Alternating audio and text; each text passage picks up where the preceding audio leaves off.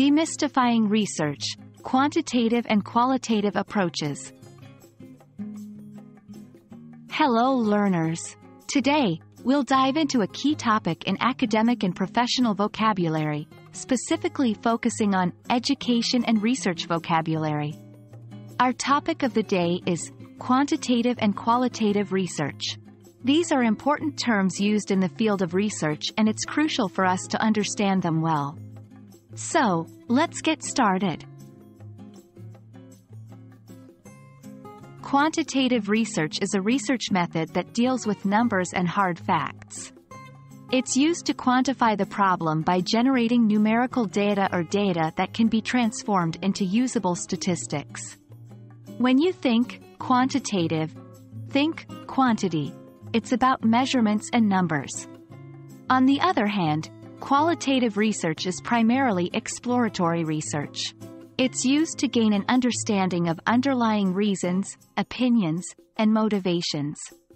It provides insights into the problem, helps develop ideas or hypotheses for potential quantitative research. When you think qualitative, think quality. It's about understanding the nature or qualities of a phenomenon.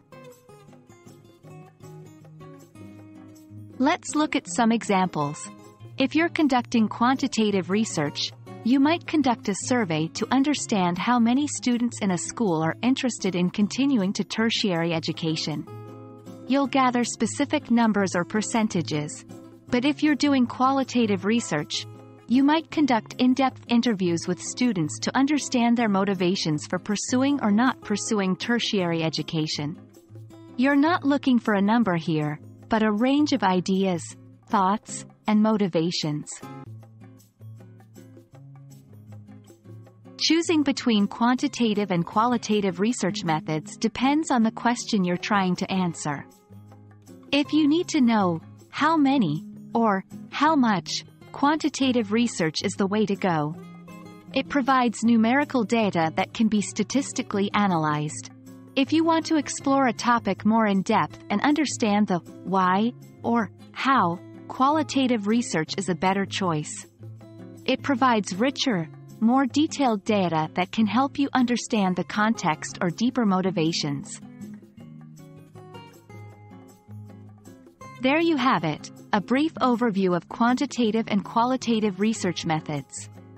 As we've seen, both have their place in research and are used for different purposes. Remember, it's not about which method is better, it's about which is most suitable for answering your research question.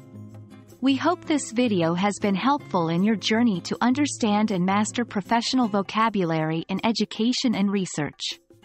Keep learning, and we'll see you in the next video.